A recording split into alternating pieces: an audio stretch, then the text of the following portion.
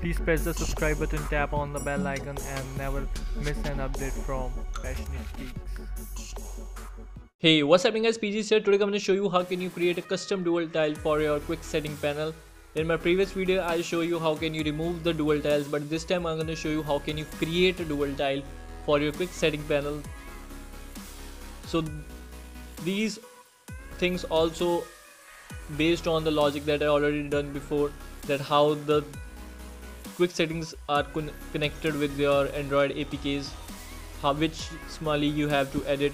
Again we have to use the Smalis that we used to reorder or rearrange our quick setting tile if you haven't watched that video then then make sure you watched in previous videos related to the theming system UI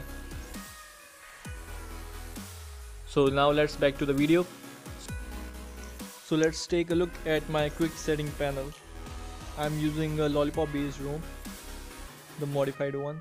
So Wi-Fi and the Bluetooth are the part of the dual tiles. Now if you want to change Wi-Fi to Bluetooth that already changed that I am going to show you in this video. How can you change?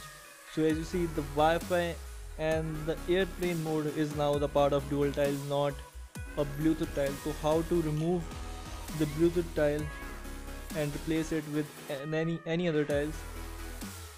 So I'm going to show you right now. So without wasting any time let's get started.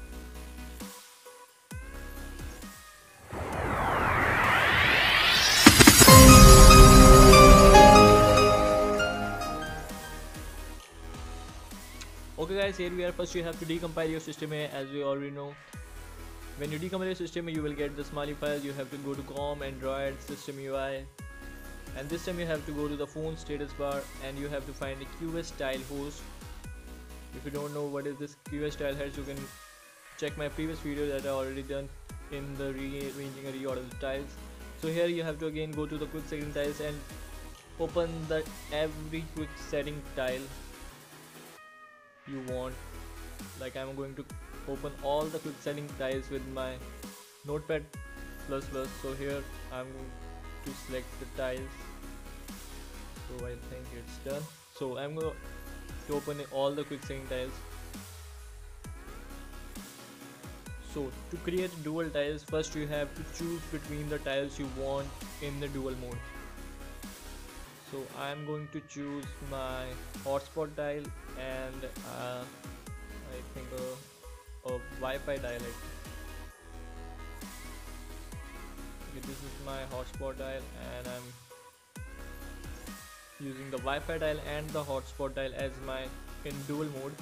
So I don't want the rest of the tiles so I'm going to remove it from here. So this is the my hotspot and the Wi-Fi tile you have to go to the quick tile host. Now you have to reorder the tile only first and the second tile can be a part of your dual tiles so here if you want a hotspot hotspot tile in instead of bluetooth tile then you have to remove the key from here. Or you or I can say you can you have to replace the keys. Change hotspot with bluetooth and change bluetooth with the hot hotspot. Make sure your spellings are correct and the case